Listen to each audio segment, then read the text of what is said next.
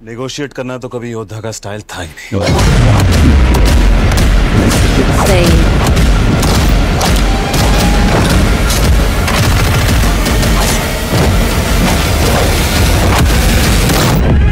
मतलब सिद्धार्थ मल्होत्रा का कमबैक है बॉस शेरशाह भी ओटीटी में आई थी, फिर मिशन बजनू, फिर उसके बाद इंडियन पुलिस फोर्स सब कुछ ओटीटी पर आए और इतना कमाल नहीं कर पाए। मगर हमेशा से ही सिद्धार्थ में वो पोटेंशियल था। क्या कमाल का एक्टिंग किया था उन्होंने एक विलन में, जो सबको याद होगा। अब योद्धा के ट्रेलर के लिए काफ़ी मूवी फैंस वेट कर रहे थे। ऐसी स्टोरी पहले भी काफ़ी आ चुका है बॉलीवुड में, लेकिन इसमें ज़्यादा एक्शन है। स्टारकास्ट जो चूज़ किया है कास्टिंग डायरेक्टर ने विच इज़ अमेजिंग राशि खन्ना एक सुपर एक्ट्रेस है और उनका एक्टिंग हर मूवी में इम्प्रूव होता जा रहा है। और दिशा पाटनी एयर हॉस्टेस के रोल में बहुत परफेक्ट लग रही है। Ronit Roy as soldier and Siddharth father is excellent और फाइनली सिद्धार्थ मल्होत्रा पे इस टाइप का रोल काफ़ी अच्छा लगता है, क्यूँकी उनका फिजिक आर्मी मैन जैसा ही है। फ़िल्म का प्लॉट काफ़ी सिंपल लग रहा है। राशि खन्ना और सिद्धार्थ मल्होत्रा दोनों एक दूसरे को जानते हैं being a part of army ऐसा कुछ होता है जिसके वजह से शायद राशि खन्ना का डेथ हो जाता है। उसके बाद एक प्लेन हाईजैक होता है। वो प्लेन में सिद्धार्थ मल्होत्रा भी होते हैं। तो बस अब देखना ये होगा कि सिद्धार्थ मल्होत्रा उन हाईजैक से पैसेंजर्स को कैसे बचाते हैं। But as I told earlier action sequence और वीएफएक्स जो यूज़ किया है, वो काफ़ी अच्छा लग रहा है मूवी में। फ़िल्म का म्यूज़िक काफ़ी अच्छा है और ये फ़िल्म रिलीज़ हो रहा है मर्डर मुबारक के साथ,